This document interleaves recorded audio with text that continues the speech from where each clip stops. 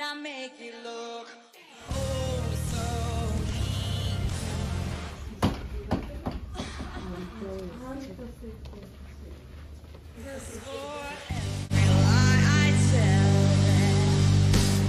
Hey. Hey, what's up? So, uh, Alonzo might be coming over here. Alonzo, weird for a couple days, and ah! Kentucky birthday. a couple days ago, so he might come over here. And I haven't seen him in those couple days, but he's.